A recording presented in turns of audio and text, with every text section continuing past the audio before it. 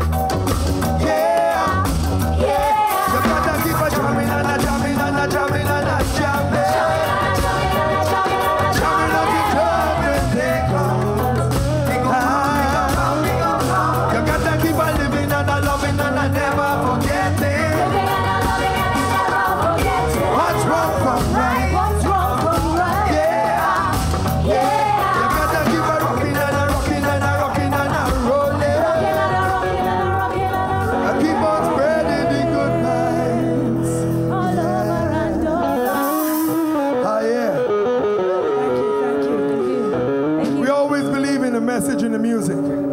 So when we sing, we sing from our hearts, and that was a message for you, from us. One love, one life, beautiful. Yeah?